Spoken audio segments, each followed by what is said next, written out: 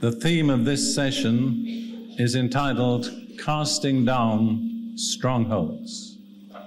And it's a session that will deal Das Thema der heutigen Botschaft lautet Festungen zerstören. Es geht dabei um geistlichen Kampf. Wir müssen zunächst einmal verstehen, warum es überhaupt einen geistlichen Kampf gibt, wer gegen wen kämpft und auf welcher Seite wir stehen. Ich möchte als erstes Matthäus 12 aufschlagen, eine Passage über den Dienst Jesu, der die grundlegende Tatsache verdeutlicht, dass es zwei unsichtbare geistliche Reiche gibt, die gegeneinander Krieg führen. Das eine ist das Reich Satans, das andere ist das Reich Gottes. Ich denke, die meisten von euch dürften kein Problem mit der Vorstellung haben, dass Gott ein Reich hat. Einigen von euch ist aber vielleicht nicht bewusst, dass auch Satan ein Reich hat, aber er hat ein Reich und es ist für uns als Christen ausgesprochen wichtig zu verstehen, wie dieses Reich beschaffen ist und wie es funktioniert. Denn wenn wir durch Christus im Reich Gottes sind, befinden wir uns automatisch im Krieg mit dem Reich Satans. Versteht ihr? Wenn ich, sagen wir mal, ein Staatsbürger von Australien wäre, zum Beispiel, und Australien sich, Gott behüte, im Krieg mit Neuseeland befände und hoffen wir, dass nie so, so etwas jemandem einfällt. Aber wenn es so wäre, dann würde ich mich als australischer Staatsbürger automatisch im Krieg mit Neuseeland befinden, weil ich eben einer Nation angehöre, die sich im Krieg mit einer anderen Nation befindet. Wenn sich also das Reich Gottes im Krieg mit dem Reich Satans befindet und wir im Reich Gottes sind, dann haben wir gar keine Wahl. Dann befinden wir uns automatisch auch im Krieg mit dem Reich Satans. Es ist sehr wichtig für uns, das zu wissen und auch das Wesen dieses Krieges zu verstehen. Lesen wir jetzt also diese Passage aus Matthäus 12. Wir lesen ab Vers 24. Jesus hatte gerade eben einen taubstummen Mann geheilt, indem er den bösen Geist austrieb, der diesen Mann taubstumm machte. Habt ihr gewusst, dass böse Geister Menschen taubstumm machen? Als wir vor vier Jahren in Pakistan waren, dienten wir den Leuten dort. Gott hatte eine wunderbare Tür für uns geöffnet, weil Pakistan ja zu 98 Prozent muslimisch ist. Wir hatten die Freiheit, öffentliche Veranstaltungen abzuhalten, an denen bis zu 16.000 Menschen teilnahmen. Und sie kamen aus einem ganz bestimmten Grund. Sie kamen, weil sie gehört hatten, dass wir für Kranke beten würden. Das war für viele der einzige Grund, warum sie kamen. Und im Laufe unseres Dienstes dort kamen Ruth und ich zu einer Gruppe von Männern, die vor uns standen und darauf warteten, dass wir für sie beten würden. Ein Mann fasste sich an die Ohren und anschließend fasste er sich an die Zunge. Wir konnten ihre Sprache nicht sprechen, aber ich begriff, dass er uns damit zeigen wollte, dass er taubstumm sei. Rein theoretisch wusste ich, was das Richtige sei. Ich dachte, ich tu's einfach und dann sehen wir, was passiert. Ich sagte, du stummer und tauber Geist in diesem Mann. Und ich sprach dabei auf Englisch, aber er war ja taubstumm und deshalb hätte es wahrscheinlich nicht viel ausgemacht, in welcher Sprache ich gesprochen hätte. Ich sagte, du stummer und tauber Geist in diesem Mann. Und im Namen des Herrn Jesus befehle ich dir, aus diesem Mann auszufahren. Dann sagte ich zu dem Mann, sagen Sie etwas und augenblicklich hörte er mich.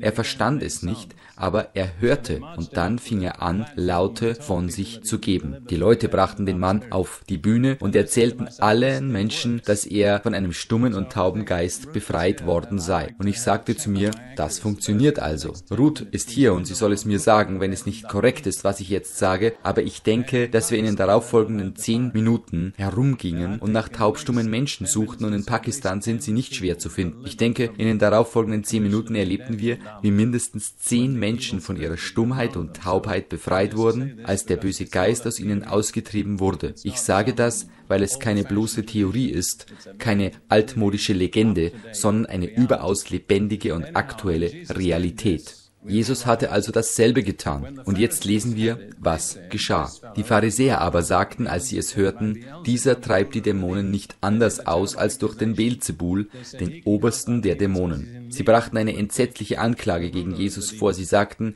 er könne Dämonen austreiben, weil er mit dem Herrscher über die Dämonen verbündet sei. Jesus antwortete ihnen und sagte, jedes Reich, das mit sich selbst entzweit ist, wird verwüstet, und jede Stadt oder jedes Haus, die mit sich selbst entzweit sind, werden nicht bestehen. Und wenn der Satan den Satan austreibt, so ist er mit sich selbst entzweit. Wie wird denn sein Reich bestehen? Jesus sagt also hier ganz klar, dass Satan ein Reich hat, ein Reich, das nicht entzweit ist. Und dann sagt er, und wenn ich durch Beelzebul die Dämonen austreibe, durch wen treiben eure Söhne sie aus? Darum werden sie eure Richter sein. Wenn ich aber durch den Geist Gottes die Dämonen austreibe, so ist also das Reich Gottes zu euch gekommen. Hier spricht Jesus also vom Reich Gottes. In diesem Dienst, in dem Menschen von bösen Geistern befreit werden, tritt diese Konfrontation zwischen den beiden Reichen offen zutage. Das unsichtbare Reich Satans wird von den Dämonen repräsentiert, das unsichtbare Reich Gottes wird von Jesus repräsentiert und von jenen, die seinen Dienst in seinem Namen weiterführen. Ich glaube, dass Satan aus zwei Gründen diesen Dienst der Befreiung ganz besonders fürchtet. Zunächst einmal offenbart der Dienst das unsichtbare Reich Satans, und es wäre ihm viel lieber, wenn es unsichtbar bliebe. Zweitens zeigt dieser Dienst den Sieg und die Vormachtstellung des Reiches Gottes über sein Reich. Wir haben also zu Beginn dieser Passage diese Passage gelesen, um euch zu zeigen, dass das Neue Testament ganz klar offenbart, dass es zwei unsichtbare geistliche Reiche gibt, die sich im Krieg befinden das Reich Gottes und das Reich Satans. Eine kurze Beschreibung des Reiches Satans und seines Hauptquartiers finden wir in Epheser 6. Das ist ohnehin eine Schlüsselstelle zu diesem Thema.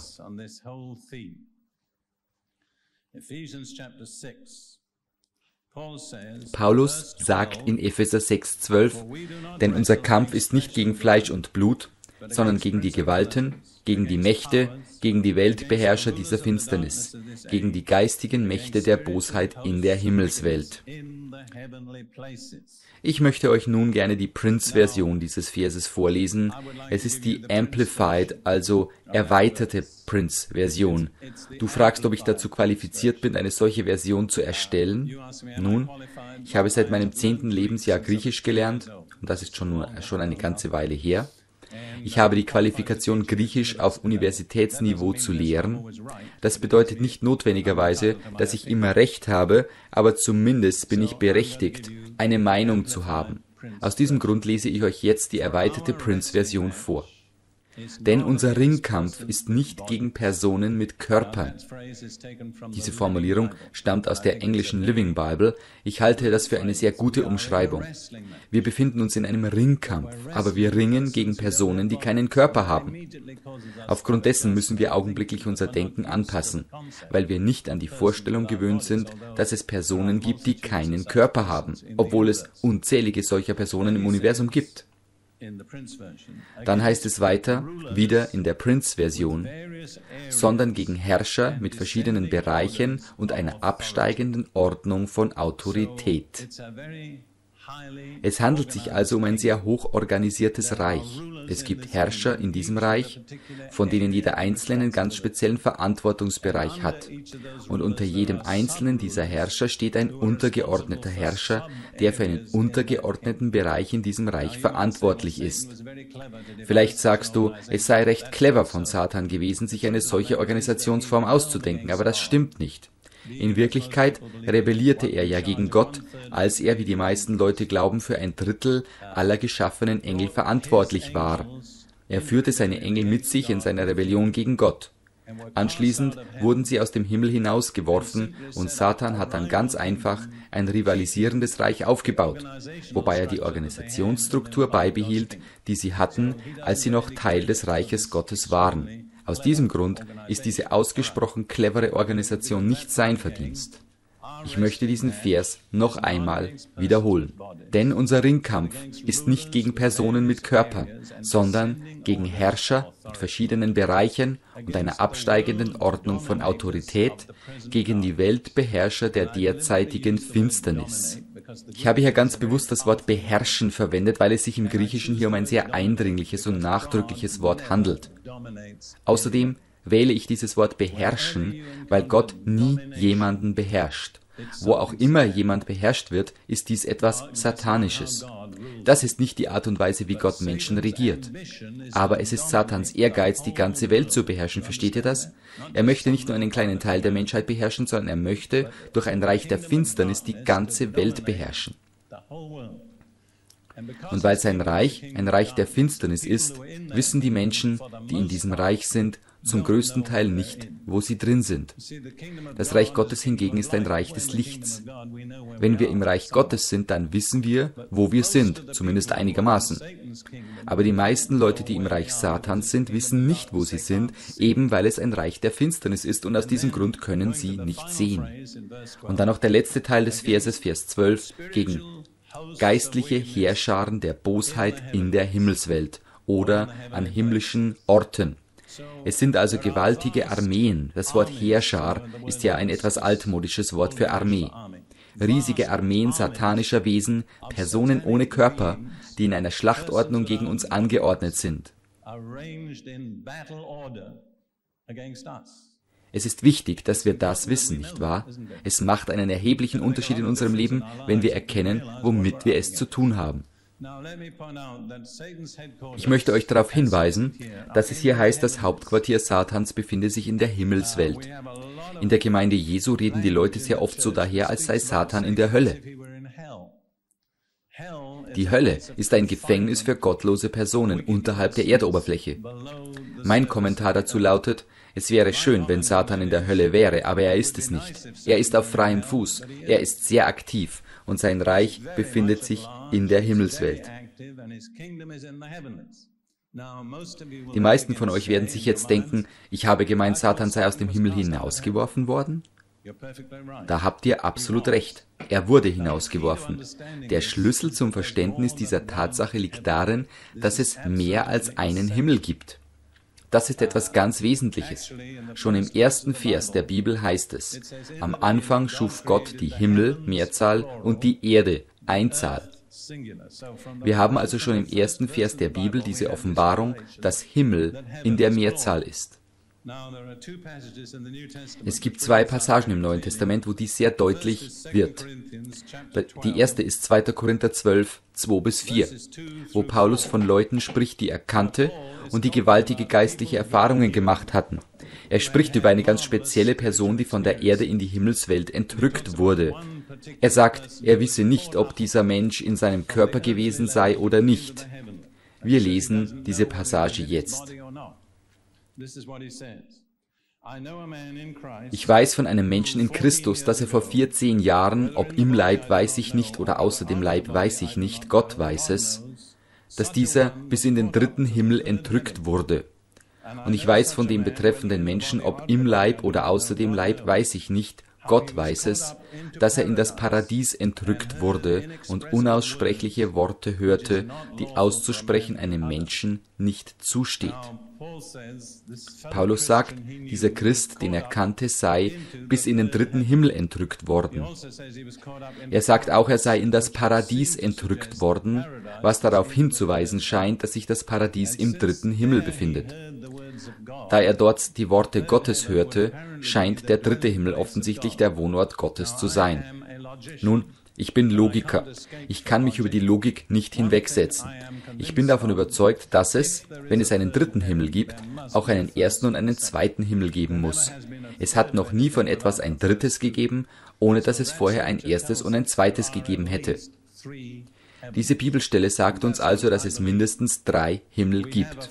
Und ich glaube das. Manchmal sagen die Leute von jemandem, der sehr glücklich ist, er sei im siebten Himmel, aber das ist, äh, ich halte das nicht für biblisch. Ich glaube, dass diese Formulierung aus dem Koran stammt. Wenn du dich wirklich glücklich fühlst, dann sag einfach, du würdest auf Wolke Nummer 7 schweben, denn die Bibel offenbart, dass es im Himmel viele Wolken gibt. Ich möchte jedenfalls festhalten, dass es mindestens drei Himmel gibt. Ich möchte euch noch eine weitere Schriftstelle vorlesen, Epheser 4,10. Hier ist davon die Rede, was Jesus bei seinem Tod und seiner Auferstehung widerfuhr. Der hinabgestiegen ist, ist derselbe, der auch hinaufgestiegen ist über alle Himmel, damit er alles erfüllte. Paulus sagt also, Jesus sei weit über alle Himmel hinaufgestiegen. Früher lehrte ich Englisch als erste Fremdsprache in Afrika und ich habe dabei festgestellt, dass jede Sprache ihre Tücken hat. Einige von euch kämpfen vielleicht selbst von Zeit zu Zeit damit. So hat beispielsweise die Verwendung des Wortes alle durchaus ihre Tücken weil man es eben in bestimmten Situationen nicht anwenden kann. So kam damals einmal einer meiner Schüler zu mir und sagte, Sir, alle meine Eltern sind gekommen, um mich zu sehen. Ich erwiderte, ich verstehe zwar, was du meinst, aber das kannst du so nicht sagen, weil du ja nicht mehr als zwei Eltern haben kannst und du das Wort alle nicht für weniger als drei Personen verwenden kannst. Wenn Paulus in dieser Schriftstelle also über alle Himmel sagt, dann müssen es mindestens drei Himmel gewesen sein und ich glaube, es sind auch drei. Ich möchte euch in diesem Zusammenhang gerne meine Meinung sagen, und ich behaupte nicht, dass dies notwendigerweise biblisch ist, aber für mich hat es den Anschein, dass der dritte Himmel der Himmel ist, in dem Gott wohnt. Es ist der heilige Himmel. Und vergesst nicht, dass Gott sogar über dem Himmel wohnt. Diese Aussage finden wir in vielen Bibelstellen. Der erste Himmel ist meiner Meinung nach der sichtbare Himmel, den wir sehen, mit Sonne, Mond und Sternen. Damit bleibt also noch ein zweiter Himmel übrig, der nie als zweiter Himmel bezeichnet wird, aber irgendwo zwischen dem sichtbaren Himmel und dem Himmel als Wohnort Gottes liegt dieser zweite Himmel. Ich persönlich glaube, dass in diesem zweiten Himmel das Reich Satans angesiedelt ist.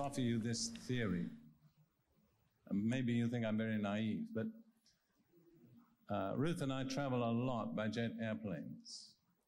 And uh, ich möchte euch diese Theorie gerne nahebringen und vielleicht haltet ihr mich für sehr naiv. Aber Ruth und ich reisen sehr viel mit dem Flugzeug und erst vor kurzem flogen wir auf dem Weg von Neuseeland nach Singapur auf einer Höhe von 13.000 Metern, was wirklich sehr, sehr hoch ist. Wenn ich so weit oben bin, habe ich manchmal das Gefühl, ich sei oberhalb des Reiches Satans. Es ist dort oben sehr leicht zu beten. Man muss sich seinen Weg nicht gegen Widerstände durchkämpfen. Das mag vielleicht eine völlig subjektive Wahrnehmung meinerseits sein, aber irgendwo zwischen Gott und uns befindet sich ein feindliches Reich, das uns widersteht und unsere Gebete verhindern möchte. Das ist auch der Grund, warum wir in manchen Fällen etwas durchbeten müssen, versteht ihr? Das liegt nicht daran, dass wir etwas beten würden, was nicht im Willen Gottes sei. Das liegt auch nicht daran, dass Gott nicht bereit wäre zu hören. Das liegt vielmehr daran, dass wir ein feindliches Reich in der Himmelswelt durchdringen müssen, um zu Gott zu gelangen. Ich möchte aber nicht spekulieren, sondern euch jetzt eine Passage aus dem Buch Daniel zeigen, die sehr klar offenbart, dass es so ist. Ich werde nicht das ganze Kapitel lesen, aber es, äh, wenn es euch interessiert, werdet ihr gut beraten, das ganze Kapitel später für euch selbst durchzulesen.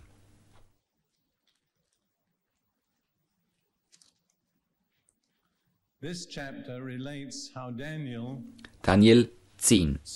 In diesem Kapitel wird erzählt, wie Daniel einen Zeitraum von drei Wochen speziell für Gebet anberaumte und er tat das, was manchmal auch als Daniel-Fasten bezeichnet wird. Es war kein völliges Fasten, sondern er aß nur die einfachsten Lebensmittel und trank keinen Wein und aß kein Fleisch. Und er klagte vor Gott für sein Volk Israel, die Gefangene eines heidnischen Reiches waren. Und am Ende der drei Wochen kam ein herrlicher Engel zu ihm mit der Erhörung seines Gebets in Form einer Offenbarung von Gott, wie die Zukunft seines Volkes aussehen werde. Das finden wir dann in Daniel 11 und 12.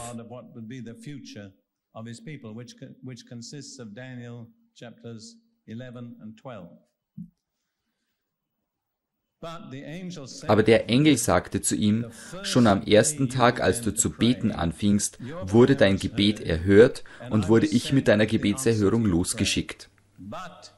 Aber ich brauchte drei Wochen, um zu dir durchzukommen, weil ich irgendwo zwischen dem Thron Gottes und Daniel auf Erden auf den Widerstand satanischer Engel stieß. Ich musste mir meinen Weg durch diese Engel hindurch bahnen.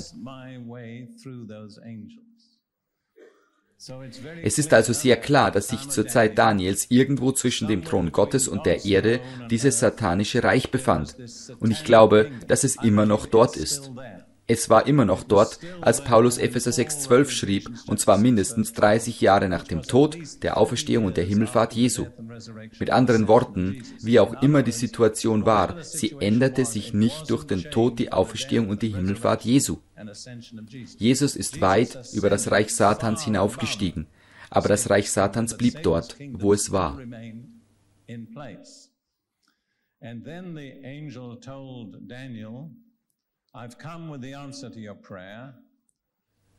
Und dann sagte der Engel zu Daniel, ich bin mit deiner Gebetserhörung gekommen, aber wenn ich dich wieder verlasse, muss ich mir meinen Weg wieder zurück durch dieselben Engel hindurchkämpfen.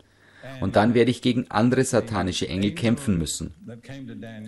Der Engel, der zu Daniel kam, sagte, auf meinem Weg hierher widerstand mir der Fürst des Königreichs Persien 21 Tage lang. Das bedeutet, dass diese beiden Engel 21 Tage lang gegeneinander in der Himmelswelt kämpften. Er spricht außerdem noch von den Königen von Persien.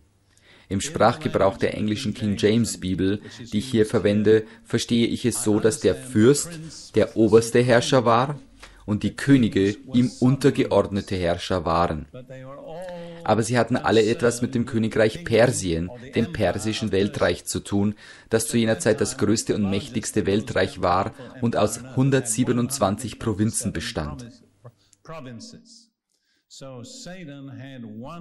Satan hatte also einen Superengel, der für ihn für das ganze persische Reich verantwortlich war, aber dieser Superengel hatte noch andere Engel, die für verschiedene Bereiche innerhalb dieses persischen Weltreichs verantwortlich waren.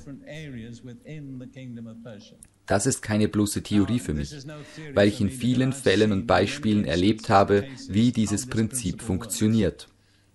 Nehmen wir zum Beispiel einmal an, dass es in diesem persischen Weltreich verschiedene Großstädte gab, die es ja tatsächlich gab. Ich denke, dass jeweils ein untergeordneter Engel über eine Großstadt stand. Wenn ich so von Stadt zu Stadt und von Ort zu Ort reise, mache ich die Erfahrung, dass ich, um in einer bestimmten Stadt einen effektiven geistlichen Dienst tun zu können, sehr oft herausfinden muss, welche spezielle satanische Macht in dieser Stadt am Werk ist. Und das ist von Stadt zu Stadt unterschiedlich.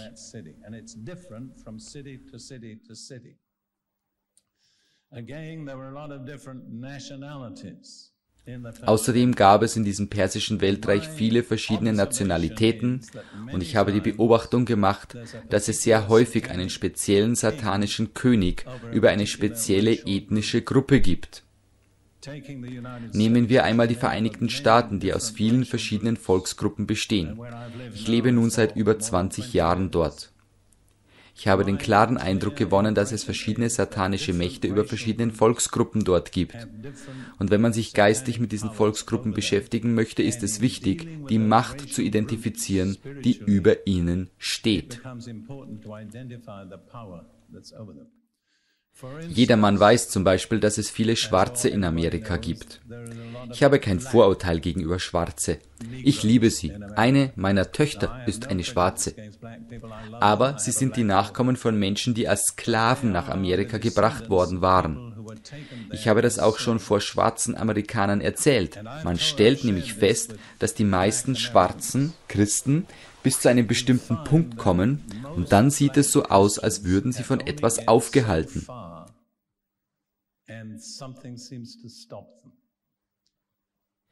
Ich habe ihnen meine Meinung gesagt und erklärt, ihr seid als Sklaven gekommen, ihr habt euch politisch emanzipiert, aber ihr seid nie geistlich emanzipiert worden, ihr seid nach wie vor unter einem Geist der Sklaverei. Paulus spricht in Römer 8 von einem Geist der Sklaverei bzw. Knechtschaft, wenn er sagt, dass wir nicht einen Geist der Knechtschaft empfangen haben, sondern den Geist Gottes, der uns zu Söhnen und Töchtern Gottes macht. Und wenn er über Knechtschaft spricht, dann stellt man, wenn man genau hinsieht, fest, dass er über religiöse Gesetzlichkeit spricht, also von Menschen, deren Religion aus bestimmten Regeln und Vorschriften besteht, bei denen es immer nur darum geht, was man darf und was nicht. Ich habe wiederum die Beobachtung gemacht, dass fast alle schwarzen amerikanischen Gemeinden ausgesprochen gesetzlich sind. Fast keine von ihnen kennt die wahre Freiheit der Gnade Gottes. Woran liegt das? Das liegt daran, dass noch nie etwas gegen diesen Geist der Sklaverei unternommen worden ist. Er hat bis zu einem gewissen Grad immer noch Kontrolle über sie. Sie sind Christen, viele von ihnen. Einige von ihnen sind sogar ausgesprochen liebenswerte Christen, aber als Gruppe sind sie noch nie freigesetzt worden. Oder nehmen wir eine andere Volksgruppe in den Vereinigten Staaten, die amerikanischen Indianer. Im Prinzip sind die Vereinigten Staaten ein Land der Freiheit. Leider geht man in unserer heutigen Zeit mit dieser Freiheit viel zu weit.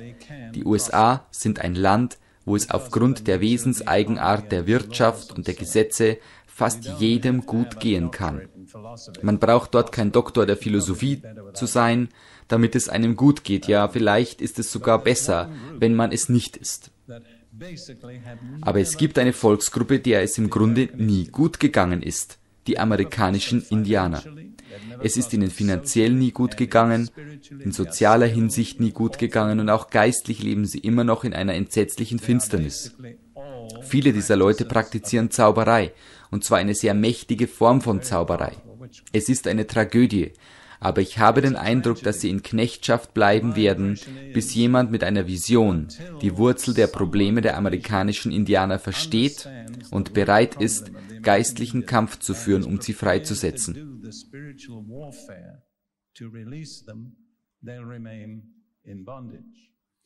Nun, ich war weise genug, Beispiele aus einem für euch fernen Land zu nehmen. Aber ich denke, wenn ihr über das, was ich euch sage, nachdenkt, werdet ihr in kurzer Zeit erkennen, dass ganz ähnliche Prinzipien auch auf eurem Kontinent wirksam sind.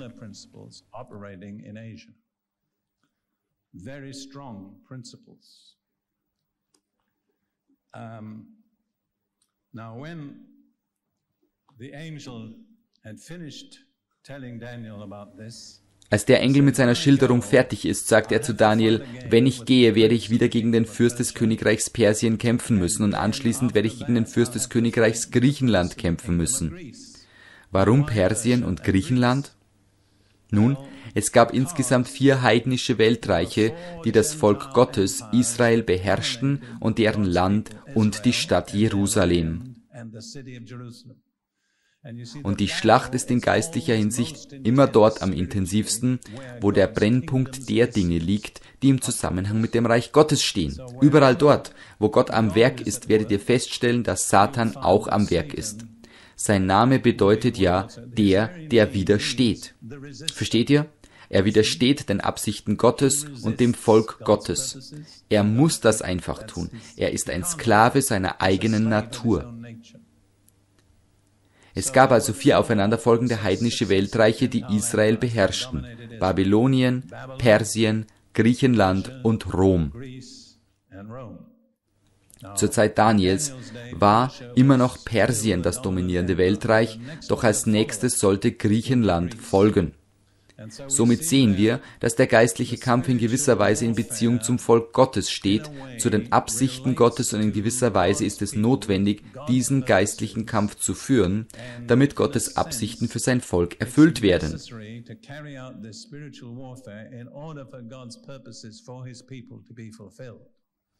Und Daniel ist ein wunderbares Musterbild für jemanden, der durch Gebet, Fasten und Fürbitte die Geschichte seines Volkes veränderte. Ich möchte nun rasch die Passagen vorlesen, die ich soeben zitiert habe. Daniel 10, 2 bis 3.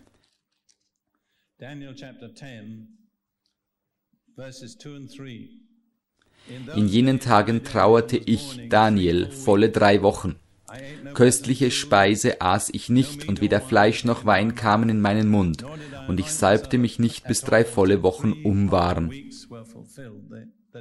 Hier wird der Zeitraum der drei Wochen betont. Der Engel, der zu ihm kam, sagte Verschiedenes, und dann sagte er in Vers 12, Fürchte dich nicht, Daniel, denn vom ersten Tag an, als du dein Herz darauf gerichtet hast, Verständnis zu erlangen und dich vor deinem Gott zu demütigen, sind deine Worte erhört worden und um deiner Worte willen bin ich gekommen.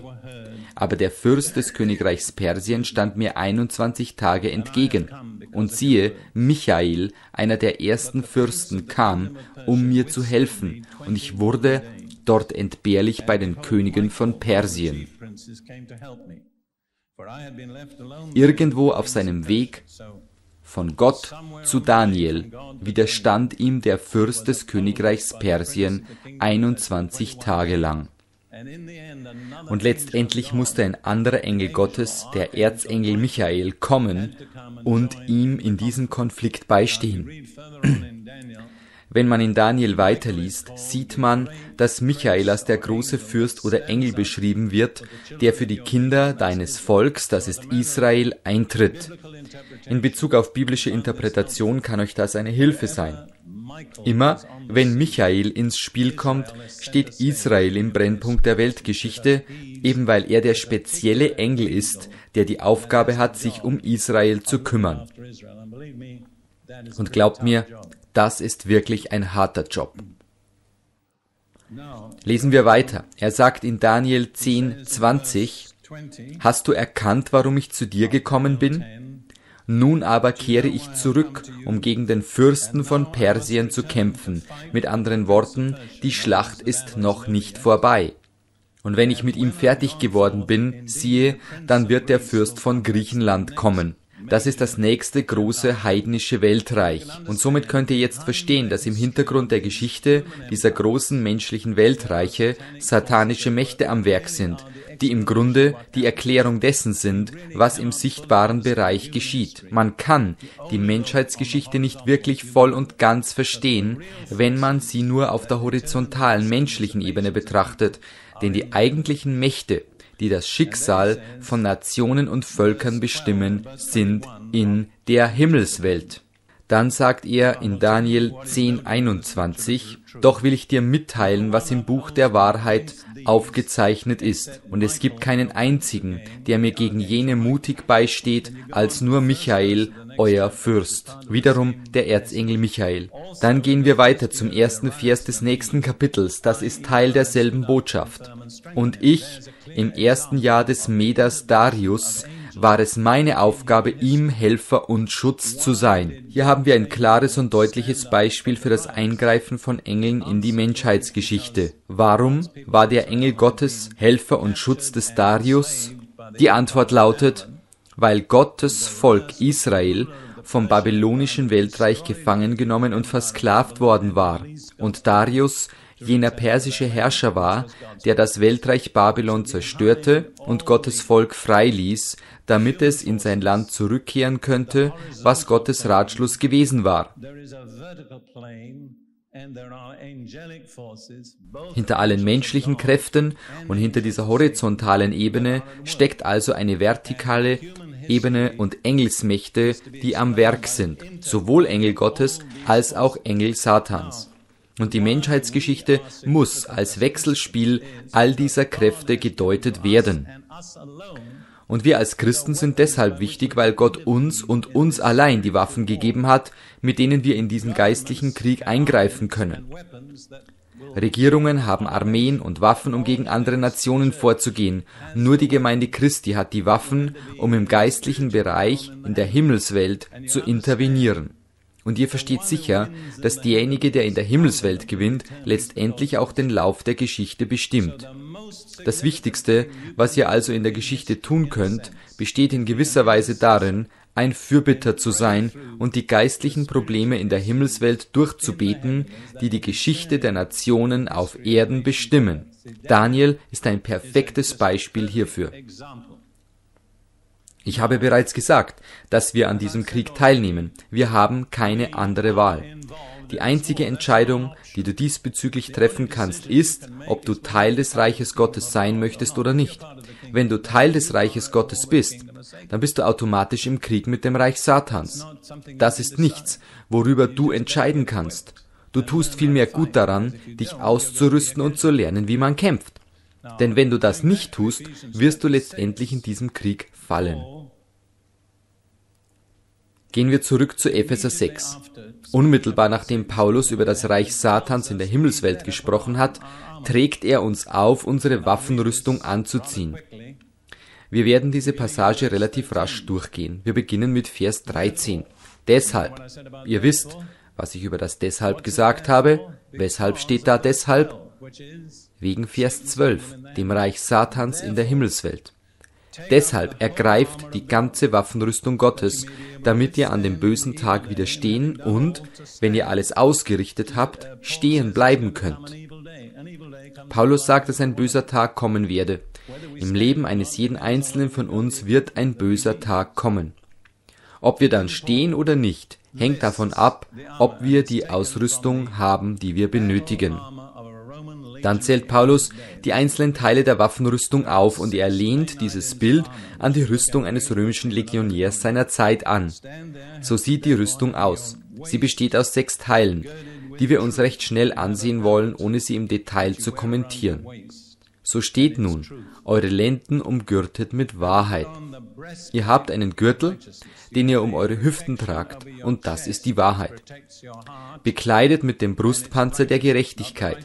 Ihr habt einen Schutz über eurer Brust, der euer Herz schützt, und das ist die Gerechtigkeit. Nicht die Werksgerechtigkeit, sondern die Glaubensgerechtigkeit und beschut an den Füßen mit der Bereitschaft zur Verkündigung des Evangeliums des Friedens. Ihr habt Sandalen, die eure Füße schützen und euch in die Lage versetzen, weit und schnell zu marschieren, so wie es die römischen Legionäre taten. Was ist der Schutz für eure Füße? Die Bereitschaft zur Verkündigung des Evangeliums des Friedens. Hierzu ein Kommentar. Wenn ihr weitere Informationen zu diesem Thema haben wollt, dann gibt es Kassetten von mir, in denen ich mich mit jedem einzelnen Teil dieser Waffenrüstung beschäftige. Ich sage das, weil ich dieses Thema nicht hastig abhandeln möchte, aber andererseits doch von den Verteidigungs- zu den Angriffswaffen übergehen möchte. Wenn ich mich zu lange bei der Verteidigung aufhalte, kommen wir ja nie zum Angriff. Bei alledem ergreift den Schild des Glaubens. Es handelt sich hierbei um einen Großschild, der wie eine Tür aussieht, der jeden Teil des Körpers vor den Pfeilen des, Feind, des Feindes schützt. Und dann heißt es, nehmt auch den Helm des Heils. Welchen Teil des Körpers schützt der Helm? Den Kopf. Wofür steht der Kopf? Für die Gedanken. Und es ist so wichtig, dass wir wissen, wie wir unsere Gedanken schützen können. Gott hat uns dafür einen Helm zur Verfügung gestellt, der hier als Helm des Heils bezeichnet wird. In 1. Thessalonicher 5.8 heißt es, und als Helm die Hoffnung des Heils. Wisst ihr, was eure, euer Denken schützt? Hoffnung. Du musst ein Optimist sein. Wenn du ein Pessimist bist, ist dein Denken empfänglich für die Angriffe Satans. Ich habe auch eine Predigt zu diesem Thema, weil das etwas ist, was ich selbst in meinem eigenen Leben lernen musste. Ich wurde als Pessimist geboren und erzogen. Ich litt Qualen in meinem Denken, bis ich lernte, dass ich mich ändern muss und dass ich einen Helm habe, der mein Denken schützt. Dann heißt es weiter, und nehmt das Schwert des Geistes, das ist Gottes Wort. Das gesprochene Wort Gottes ist hiermit gemeint. Wir haben also insgesamt sechs Gegenstände, die allesamt der Verteidigung dienen, bis auf den letzten, das Schwert. Das Schwert ist eine Angriffswaffe, die jedoch nur so weit reicht, wie dein Arm lang ist. Aber es gibt auch noch eine siebte Waffe, Vers 18, mit allem Gebet und Flehen betet zu jeder Zeit im Geist. Mit dieser Waffe haben wir eine größere Reichweite und können das Reich Satans in der Himmelswelt angreifen. Es ist die Waffe des Gebets im Geist. Also haben wir insgesamt sieben Ausrüstungsgegenstände. Fünf davon sind defensiver Natur. Der sechste ist das Schwert, das nur so weit reicht, wie dein Arm lang ist. Aber der siebte Gegenstand ist das, was ich als Gottes Interkontinentalrakete bezeichnen möchte. Was ist das? Alles Gebet, wie es hier heißt. Wir können Satans Reich mit der Waffe allen Gebets angreifen. Wir kommen nun auf genau den Punkt zu sprechen, auf den ich hinaus wollte. Wir gehen zurück zu Matthäus 12, wo ich euch noch einen weiteren Vers zeigen möchte. Ich kann nichts anderes tun, als euer Denken anzuregen, aber das ist schon eine ganze Menge. Wenn die Gemeinde endlich zu denken anfangen würde, wären wir unschlagbar. Ich finde es immer sehr beeindruckend, dass Martin Luther die protestantische Reformation damit begann, dass er 95 Thesen an eine Tür anschlug. Er hat nicht gleich alle Antworten angeschlagen, aber er hat die Leute zum Denken gebracht. Und als sie anfingen nachzudenken, kamen Veränderungen. Versteht ihr? Es ist wichtig, dass wir denken lernen. Wir lesen jetzt in Matthäus 12, was Jesus über die beiden Reiche zu sagen hat. Der nächste Vers ist sehr wichtig, Vers 29. Oder wie kann jemand in das Haus des Starken eindringen und seinen Hausrat rauben, wenn er nicht vorher den Starken bindet? und dann wird er sein Haus berauben. Diese Aussage steht im Zusammenhang mit dem Kampf zwischen den beiden Reichen. Es ist das Prinzip des Starken, wie ich es bezeichnen möchte. Jesus beschreibt hier ein Haus mit einem starken, einem Despoten, einem grausamen Herrscher, der in seinem Haus Sklaven und alle möglichen gestohlenen Güter hat. Er hat alles unter seiner Kontrolle und es ist sehr schwierig, hineinzugehen und seine Sklaven zu befreien oder seine Güter zu stehlen bzw. zurückzuholen. Wenn du einfach so hineingehst, dann bist du, während du versuchst, seine Sklaven zu befreien, die ganze Zeit damit beschäftigt, dich gegen den Starken zu wehren. Und dadurch wirst du verwundet. Jesus sagt, das sei nicht die logische Vorgehensweise. Die logische Vorgehensweise sieht so aus, dass man als allererstes den Starken bindet, man fesselt und knebelt ihn, und dann kannst du in aller Freiheit hinein und hinausgehen und dich bedienen und dir nehmen, was du brauchst, und seine Gefangenen befreien. Das ist ein geistliches Prinzip. Wenn du in irgendeiner Situation erfolgreich sein möchtest, dann musst du herausfinden, wer der satanische Starke über dieser Situation ist. Dann musst du den Starken binden, Anschließend kannst du tun, was in dieser Situation gerade notwendig ist, aber das Prinzip sieht so aus, dass man zuerst den Starken bindet und dann seine Gefangenen befreit. Wie ich bereits sagte, ist das Reich Satans in einer absteigenden Hierarchie aufgebaut, deren Ebenen aus Personen aus Engelswesen bestehen, die in absteigender Rangfolge über Verantwortungsbereiche verfügen. Und auf der untersten Ebene sind das ziemlich kleine Verantwortungsbereiche. Im Allgemeinen ist es nun nicht so, dass man gleich ganz oben anfängt, sondern man fängt dort an, wo man gerade ist. Und man lernt die Prinzipien des Kampfes und dann kann man weitergehen, bis man gegen den Starken über einer Stadt oder sogar über einer Nation kämpft. Aber das ist nicht der Punkt, wo man normalerweise beginnt. in succeeding in doing the will of God,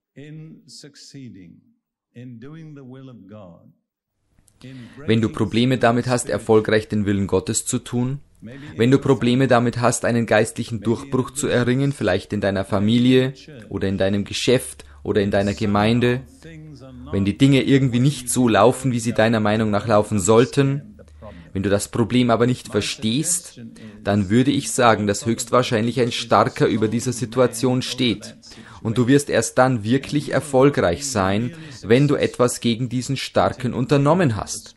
Ich spreche da aus Erfahrung. Ich habe es schon einmal erzählt, dass ich das Oberhaupt einer sehr großen Familie bin, die inzwischen etwa 120 Personen umfasst.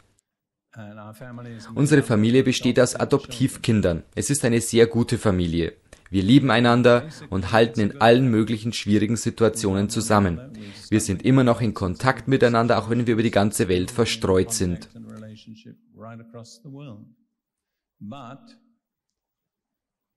Aber dort, wo ich lebte, nachdem meine erste Frau gestorben war und bevor ich Ruth heiratete, war ich zweieinhalb Jahre lang Witwer. Es ist eine Tradition in unserer, Geme in unserer Familie, dass wir uns als Familie am Weihnachtsabend treffen und gemeinsam feiern. Wir treffen uns natürlich normalerweise in unserem Haus. Damals hatte ich ein großes Haus. Am Tag vor dem Weihnachtsabend dachte ich darüber nach, wie es sein würde, wenn die Familie zusammenkommt. Obwohl wir einander lieben und im Grunde gute Beziehungen zueinander haben, habe ich immer eine gewisse Spannung, einen gewissen Druck wahrgenommen, wenn ein Großteil der Familie zusammenkommt. Ich denke, das lag zum Teil daran, dass einige Töchter hofften, ich würde mich mehr für ihre Kinder interessieren als für die Kinder einer anderen Tochter. Ich dachte mir damals, da muss doch was dahinter stecken. Ich lag auf meinem Bett, es war etwa 23 Uhr, und ich sagte, Gott, was steckt da eigentlich dahinter? Es war, wie wenn eine Art von grauem Nebel in meinem Zimmer aufkam, unmittelbar unterhalb der Zimmerdecke. Ich begriff, dass Gott dabei war, mir zu zeigen, dass dies die Kraft sei, die die Beziehungen in meiner Familie so schwierig macht. Also fragte ich Gott, was es denn sei, und er antwortete, Selbstgerechtigkeit. Ich dachte darüber nach. Ich dachte über meine erste Frau nach. Sie war eine wunderbare Christin gewesen, aber wie vielen wunderbaren Christen war es ihr ausgesprochen wichtig, das Richtige zu tun, und sie drehte sich sehr darum, auch ja das Richtige zu tun. Und das ist ein Schritt in Richtung Selbstgerechtigkeit. Dann dachte ich über mich selbst nach und sagte, auf mich trifft das auf jeden Fall zu. Also erkannte ich, dass unsere Familie in gewissem Maße unter dem Einfluss eines Geistes der Selbstgerechtigkeit stand, weil sowohl meine erste Frau als auch ich dafür offen waren. Die Eltern sollten der geistliche Schirm über der Familie sein, der diese schützt. Aber wenn dieser Schirm ein Loch hat, dann gehen Dinge durch, die nicht in die Familie hineinkommen sollten. Versteht ihr? Also dachte ich, das Erste, was ich tue, ist Buße tun. Ich werde mich selbst von dieser Selbstgerechtigkeit lösen, weil man nämlich nicht viel für andere Leute tun kann, wenn man das Problem selbst hat. Und das tat ich dann auch. Ich sagte dann, Gott, ich breche diese Macht der Selbstgerechtigkeit über meiner Familie im Namen Jesu. Und als wir am nächsten Tag alle zusammenkamen, war alles ganz anders. Was früher einen Druck auf uns gelegt hatte, war nicht mehr da. Und das ist nur ein Beispiel. Das kann auch ein Geschäft oder eine Firma betreffen. Vielleicht bist du ein christlicher Geschäftsmann. Vielleicht ist es so, dass du deine Finanzen und deine Talente wirklich für den Herrn einsetzen möchtest, aber irgendwie läuft dein Geschäft nie wirklich so gut, wie es laufen sollte. Und gerade dann, wenn du an der Schwelle zu einem Durchbruch stehst, geschieht etwas, das diesen vereitelt. Ich möchte dir den Gedanken nahelegen, dass vielleicht ein Starker über deiner Firma ist. Ich weiß nicht genau, was es sein könnte. Es ist auch nicht meine Aufgabe, das zu wissen. Es ist deine Aufgabe, es rauszufinden. Ich gehe nicht herum und löse die Probleme anderer Menschen, aber ich versuche den Leuten zu sagen, wie sie ihre eigenen Probleme lösen können. Dasselbe gilt für ganze Nationen. Ich war einmal in Neuseeland ein Land, das ich sehr gut kenne und das ich schon mindestens zehnmal besucht habe. Ich liebe die Neuseeländer und ich befand mich dort vor einigen Jahren einmal in einer Veranstaltung und lehrte über dieses Thema. Und sie fragten mich, was ist denn der Starke über Neuseeland? Ich erwiderte, es ist nicht meine Aufgabe, euch das zu sagen, es ist eure Aufgabe, es rauszufinden. Es waren ja alles Leiter. Und sie fragten weiter, und deshalb dachte ich, Gott, vielleicht zeigst du es mir ja. Und ich hatte den Eindruck, dass Gott es mir tatsächlich zeigte. Ein Freund von mir, ein bekannter neuseeländischer Christ, war etwas verspätet zu dieser Veranstaltung gekommen. Er saß ganz hinten im Saal und seine Tochter saß neben ihm. Schließlich drängten die Leute mich und ich sagte, wenn ihr es wissen wollt, ich glaube, der Starke über Neuseeland ist Gleichgültigkeit. Es sind sehr herzliche, freundliche Menschen, aber in gewisser Weise nehmen sie das Leben nicht ernst. Sie haben die Einstellung, irgendwie wird am Ende alles gut ausgehen, es wird schon werden. Der Mann, der verspätet in die Veranstaltung gekommen war und ganz hinten saß, drehte sich in dem Augenblick, als ich das sagte, zu seiner Tochter und sagte, es ist Gleichgültigkeit. Ich muss sagen, dass es seit jener Zeit bis heute mit Neuseeland im Grunde in politischer, sozialer und geistlicher Hinsicht abwärts geht. Was ist das Problem? Gleichgültigkeit. Solange sich die neuseeländischen Christen diesem Problem nicht stellen, werden sie meiner Meinung nach nicht in der Lage sein, in angemessener Weise etwas gegen die Gesamtsituation zu unternehmen. Ich bin jetzt mutig und sage noch etwas. Ich war auch in Australien und wurde dort mit derselben Frage konfrontiert. Ich sagte, wenn ihr wissen wollt, was ich glaube, ich glaube, das geistliche Problem in Australien ist Ablehnung. Bei den Australien muss man etwas vorsichtig sein mit dem, was man sagt, aber Australien wurde als Sträflingskolonie gegründet. Gefangene hatten die Chance bekommen oder waren dort waren äh, dazu gezwungen worden, nach Australien zu gehen. Deshalb macht man die Feststellung, dass im Denken des australischen Volkes im Hintergrund immer dieses Gefühl mitschwingt, wir waren Ausgestoßene, wir waren abgelehnt. Und Gott schenkte einem neuseeländischen Bruder in Australien eine wunderbare Prophetie, als ich in Australien über dieses Thema lehrte. Er sagte, Gott wird diese Nation heilen. Gott hat Erbarmen mit ihr. Gott bezeichne die Nation als eine Nation, die in Ketten geboren wurde, aber er werde diese Ketten brechen. Ich glaube das. Ich glaube, dass in naher Zukunft eine gewaltige Erweckung in Australien ausbrechen wird. Wir könnten noch weitermachen. Was ist der Starke über den USA? Natürlich wirken viele Kräfte in der Nation, aber ich würde sagen, im Wesentlichen ist es Rebellion. Die USA wurden in Rebellion geboren. Es ist schon etwas Erstaunliches. In der Geschichte sprechen wir Briten vom amerikanischen Unabhängigkeitskrieg, aber die Amerikaner selbst reden von der amerikanischen Revolution.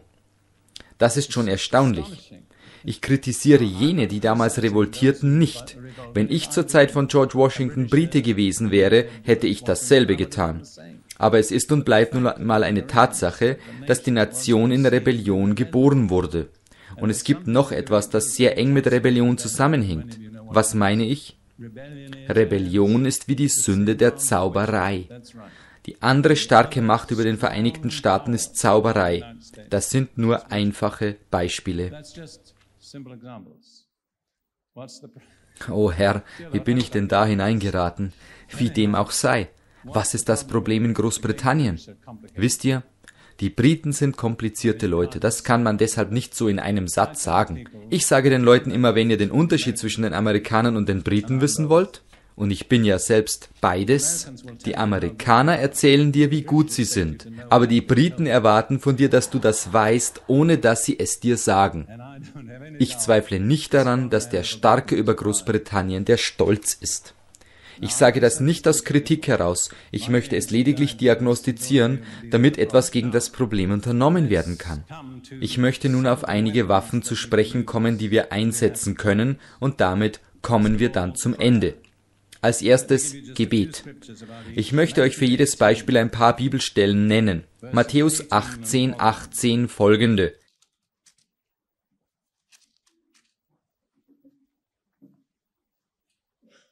Jesus sagt hier, Wahrlich, ich sage euch, wenn ihr etwas auf der Erde bindet, wird es im Himmel gebunden sein. Und wenn ihr etwas auf der Erde löst, wird es im Himmel gelöst sein. Das ist eine gewaltige Aussage. Im Griechischen heißt es wörtlich, was auch immer ihr auf Erden bindet, wird im Himmel gebunden worden sein. Also in dem Augenblick, in dem ihr es auf Erden bindet, ist es im Himmel gebunden. Versteht ihr? Wir haben die Macht, im himmlischen Bereich zu intervenieren. Wenn wir auf Erden die Bedingungen erfüllen, können wir etwas auf Erden binden, das im Himmel gebunden ist. Oder was auch immer wir auf Erden lösen, wird im Himmel gelöst sein. Wenn eine Gruppe von Personen eine Familie, eine Gemeinschaft, ja sogar eine Nation von bestimmten geistlichen Mächten gebunden wird und wir die Bedingungen auf Erden erfüllen, können wir sie lösen. Und was wir auf Erden lösen, wird im Himmel gelöst worden sein. Mit anderen Worten, Jesus sagt, du bindest es auf Erden und wenn du dich umschaust, ist es im Himmel gebunden. In gewisser Weise ist es so, dass nicht wir auf Gott warten, sondern dass Gott auf uns wartet. Und eine passive Grundhaltung ist Gott kaum wohlgefällig. Aber Jesus knüpft das Ganze an bestimmte Bedingungen. Wiederum sage ich euch, wenn zwei von euch auf der Erde übereinkommen, irgendeine Sache zu erbitten, so wird sie ihnen werden von meinem Vater, der in den Himmeln ist. Das Wort übereinkommen bedeutet im Griechischen harmonieren. Diese Verheißung des Bindens und Lösens ist also mit der Bedingung verknüpft, dass man in der Lage ist, miteinander zu harmonieren. Wenn zwei Menschen miteinander im Gebet harmonieren und um irgendetwas bitten, werden sie es bekommen. Aber es ist nicht leicht, miteinander zu harmonieren. Diese Verheißung ist darauf zurückzuführen, dass wir einzig und allein durch den Heiligen Geist miteinander harmonieren können. Und wenn wir durch den Heiligen Geist miteinander harmonieren, harmonieren wir in dem, was Gott will. Aber es ist eine gewaltige Herausforderung, insbesondere für christliche Ehepaare, wenn Ehemann und Ehefrau miteinander harmonieren können, bekommen sie alles, wofür sie beten. Aber es ist nicht leicht, diese Harmonie zu finden. Es ist ziemlich einfach, fast in Harmonie zu leben. Aber in der Musik ist etwas, das nur fast in Harmonie ist, schlichtweg schrecklich. Und ihr werdet feststellen, dass der Teufel diese Harmonie zwischen euch auf jede erdenkliche Weise bekämpfen wird, weil er davor Angst hat.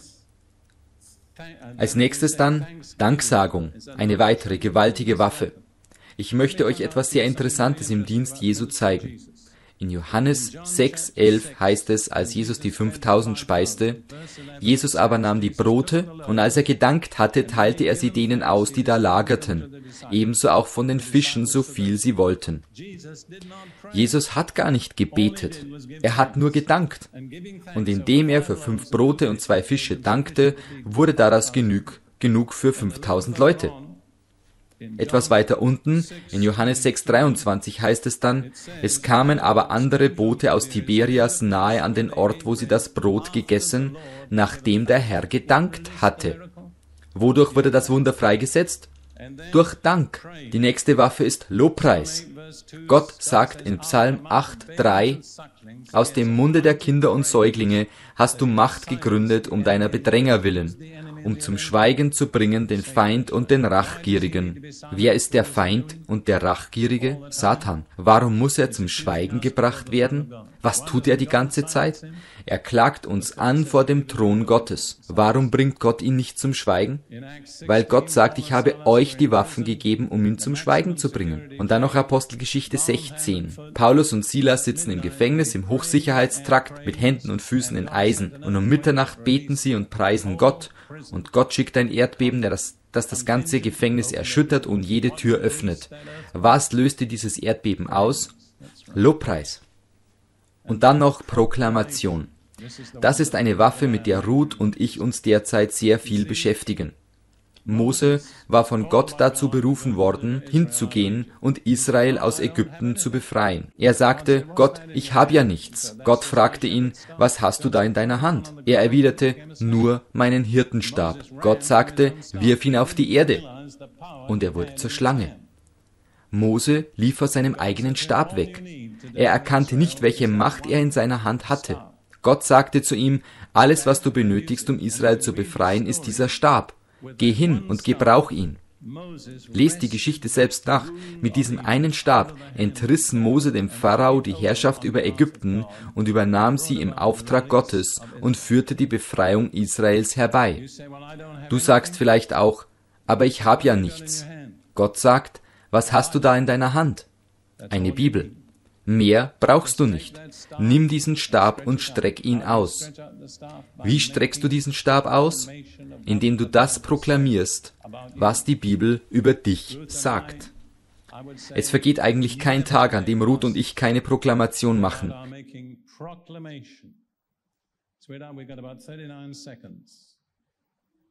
We'll make 2 Corinthians. No, let's do um, wir proklamieren jetzt zum Abschluss noch 5. Mose 33, 25.